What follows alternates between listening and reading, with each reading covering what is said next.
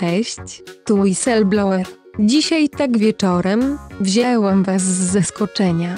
Dzisiaj, 29 marca, poza tym, że jest piątek, mamy też Światowy Dzień Fortepianu. Kto gra na fortepianie łapka w górę dwa dni? Tyle dzieli nas od ostatniego odcinka Sanatorium Miłości, a seniorzy udzielają kolejnych wywiadów. Tym razem znów złotousta Nina i wyjątkowo jej miłosne podboje. Ale zanim to nastąpi, muszę powiedzieć, że pod jednym z naszych filmów rozpętała się prawdziwa burza. Awantura o Basie, a Basią jest tutaj Walentyna. Nie dajemy screenów, bo w komentarzach pada tak dużo prywatnych informacji na temat Wali, że aż strach. Z jednej strony opisywana jest jako manipulatorka, materialistka i dużo gorszych rzeczy.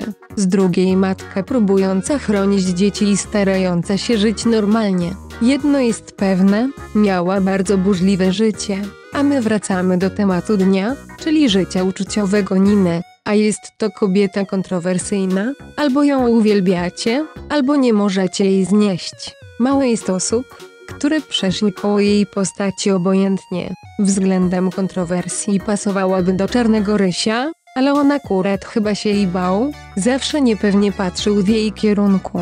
Nina w programie przemilczała swoje małżeństwo, które zakończyło się rozwodem, ale ostatnio opowiedziała o nim w wywiadzie. Podobno były mąż był bardzo konserwatywny, kazał Ninie siedzieć w domu, z nikim nie rozmawiać, nie ubierać się modnie, nigdzie nie wychodzić, nie wyjeżdżać, a nawet się nie śmiać. No akurat zupełnie nie trafił. Małżeństwo zakończyło się rozwodem. Nina ma jednak córkę, ale ta mieszka w Anglii, kiedy urodził się jej syn.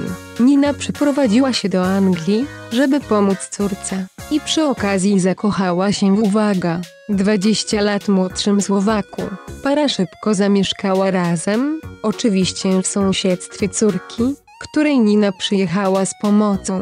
I choć ostatecznie związek nie wypalił, rozstali się w przyjaźni i Nina do dziś go uwielbia. Wniosek z tego taki, że panowie w sanatorium miłości byli zwyczajnie za starzy dla żywiołowej seniorki.